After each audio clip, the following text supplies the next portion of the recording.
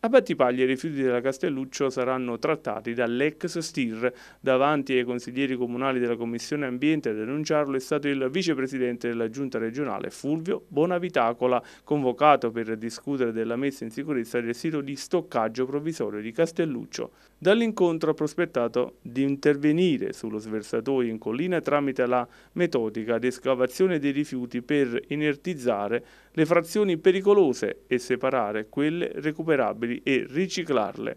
Solitamente così si recupera una volumetria del 30% che sale al 50% con la pressatura, ma secondo Bonavitacola Battipaglia si potrebbe arrivare al 100%, questo svuotando totalmente l'invaso e prospetta che si potrebbe realizzare grazie all'ex STIR e con la conviene programmare di non sotterrare nuovamente i rifiuti non riciclabili ma di trattarli allo STIR e rimuovere la discarica. Questa è la novità post Commissione Ambiente che potrebbe pertanto liberare tutto l'invaso.